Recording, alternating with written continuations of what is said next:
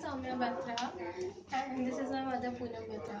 So we were here for this course by Henry Harvin and it was a really good experience. Really learned a lot of things. The coordinator was also good, and the course content that you've designed is really uh, good, explanatory. It explains a lot of things that we didn't knew.